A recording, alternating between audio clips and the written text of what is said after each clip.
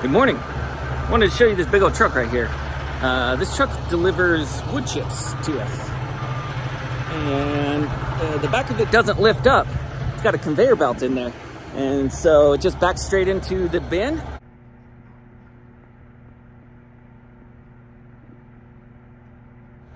And the conveyor belt takes care of the rest of it.